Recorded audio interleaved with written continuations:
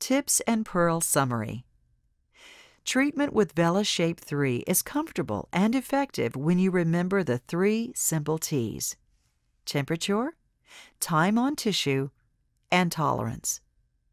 Always begin by guiding your patient through the 1 to 5 comfort scale, as discussed in the circumferential reduction protocol, and communicate with your patient throughout the treatment.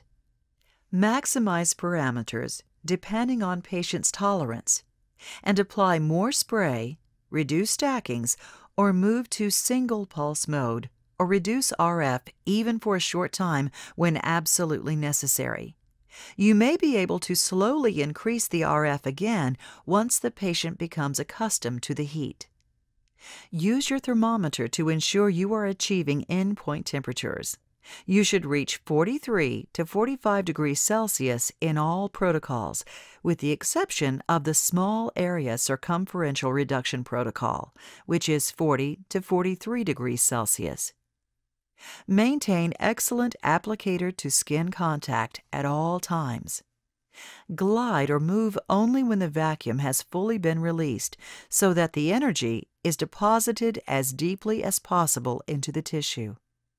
Never lift the handpiece off the tissue before releasing the foot pedal or trigger. If the patient feels heat, simply glide to the adjacent area while releasing the trigger. Then you may lift the applicator and examine the area before proceeding. Use Vela spray and reapply frequently, but in thin layers, in order to facilitate the treatment and maximize comfort. Be sure to use Vela spray, which is the optimal medium and additionally provides beneficial ingredients such as caffeine and carnitine.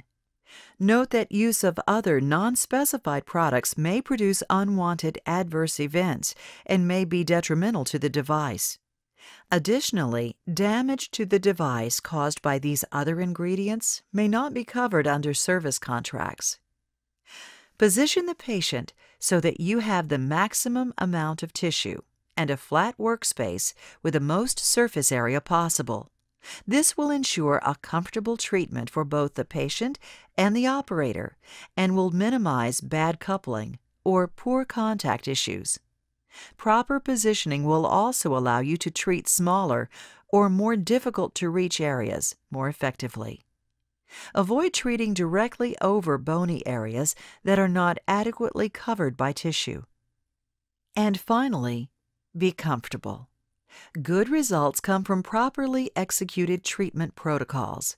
Make sure you are comfortable by adequately positioning the patient and then utilize the improvements in VelaShape 3 to your benefit. Hold the applicator comfortably.